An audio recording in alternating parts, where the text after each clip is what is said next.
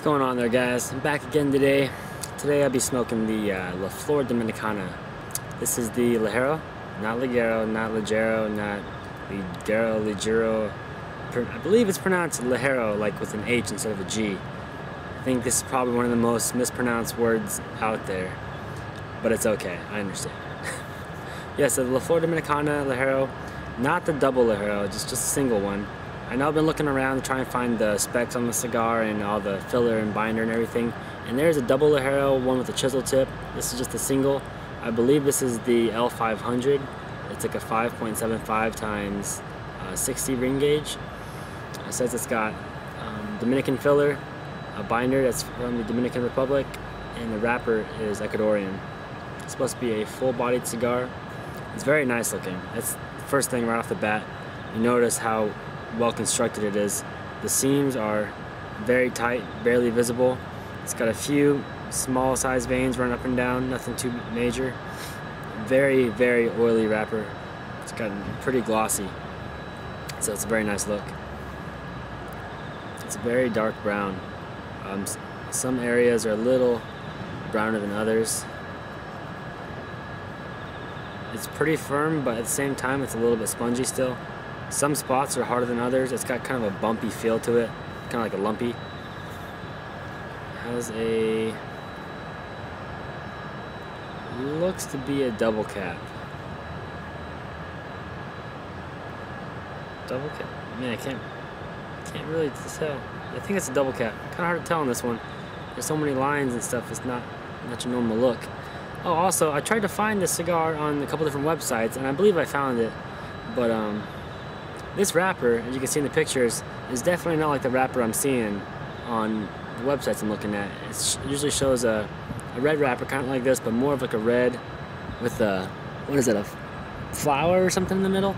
I don't know, this one's got just, you know, three initials in the middle, so I'm not sure. I think same cigar, maybe they just change the wrapper.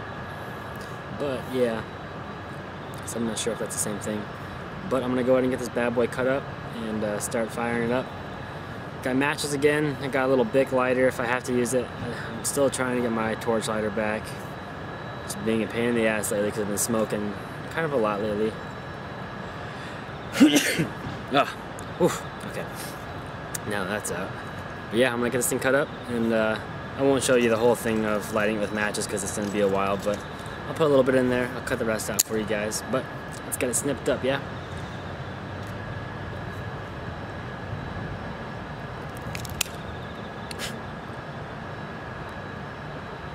Oh, beautiful draw.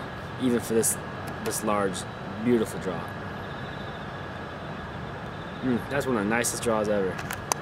It's like super soft. All right, it's go time with the matches. It's very windy out here.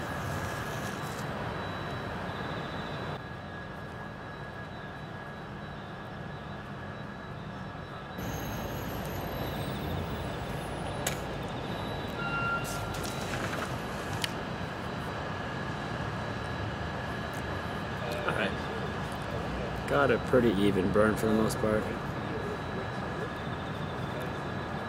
Pretty even for the most part. Took me about six matches as you saw. Just use the backpack there for a little little force, a little shield. Wow, this is very strong already. This is definitely full-bodied. They were not lying about that. You can just feel the strength almost like in your mouth and like not even in your head like very strong taste The pepper is very prominent, very deep tobacco. A deep, very zingy, zingy pepper on there. Full mouthfeel. Slight touch of a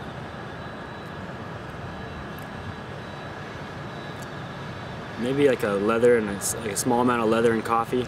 The, the tobacco taste is very prominent, and so is the pepper. The pepper is definitely a kick in the kick in the nuts.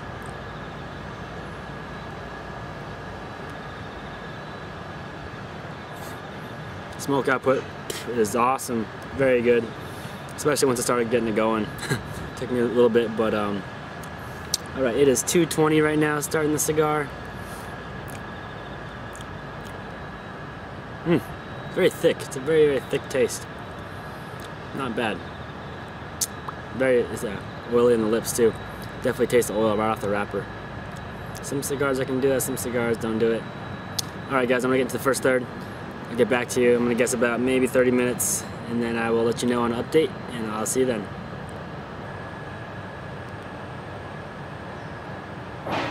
Alright, I'm back here. What is this? 20, 30, 37 minutes in.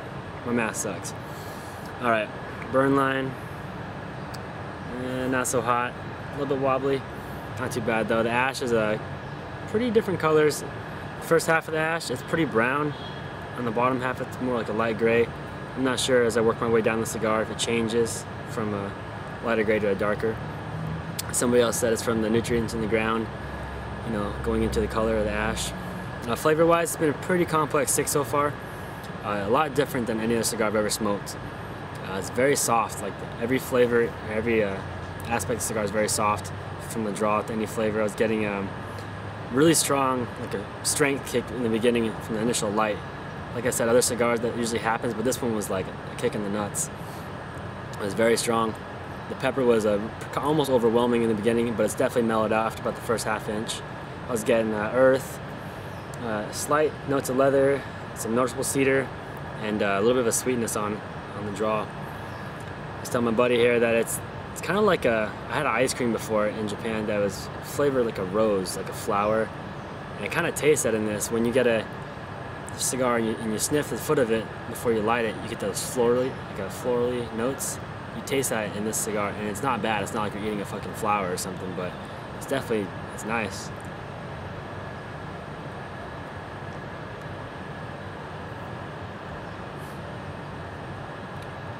Dude, that's good. I like.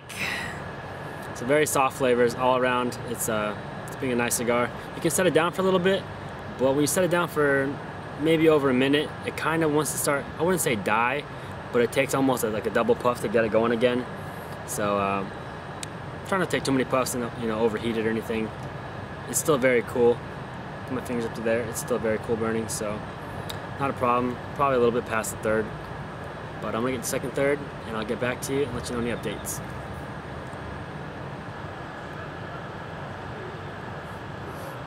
All right, I'm back here for a second update. I tried to record the update right now, but I forgot to push the record button, I guess. So I'm back here trying this again.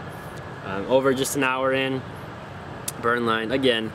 It's still somewhat decent. It's getting a little wobbly now, but I haven't given it a touch up yet. Ash fell off. It's a really heavy ash.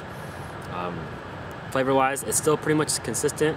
Uh, the, the, last half of the cigar, I'm starting to get some changes now. Getting kind of a coffee flavor coming in now.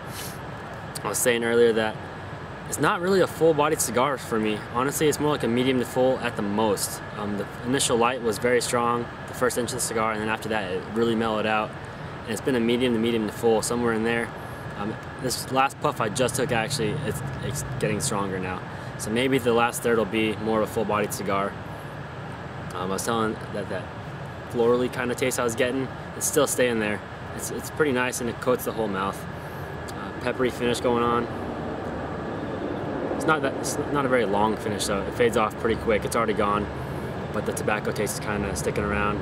So it's not too bad. It's not overpowering. I have some little Japanese drinker here. Definitely not in the States. It's called an Aquarius.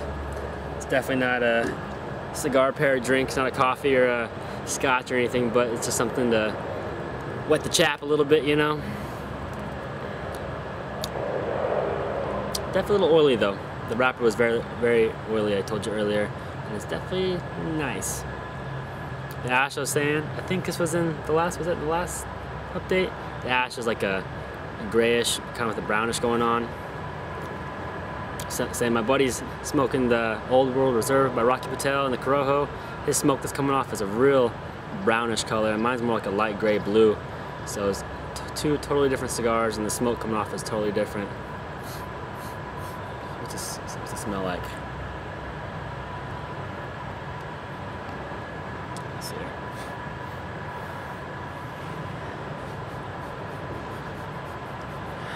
Can't really smell it man it's really starting to change in flavor though really, the coffee is really starting to come around, which is nice because I love that flavor. So I'm gonna see if it can pick up a little bit. Maybe it'll become a full-bodied cigar in the last third, and I'll get back to you on that and give any updates. Hopefully this recording works this time.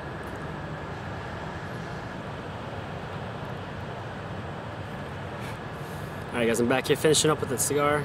Oh, there goes the ash. Down to the nub. Ash just fell off. Big guy. I'm an hour and 55 minutes in, almost a two hour smoke, which is not bad. For about seven bucks a stick. Kinda gotta factor in the time for how much you're paying. If you get a nice, you know, an expensive cigar and it smokes in an hour, then it's kind of a quick smoke, but this is definitely worth the money. Uh, the last half of the cigar has totally changed. It's like a black and white compared to the first half. The last half is definitely more of a full-bodied stick. Um, it went very, very earthy, and uh, the last third, about hitting the last third, it's, it's very nutty. Uh, maybe a tiny bit of leather in there, but that flor florally aspect I had, that's totally gone. Um, I'm telling you, like a totally different cigar.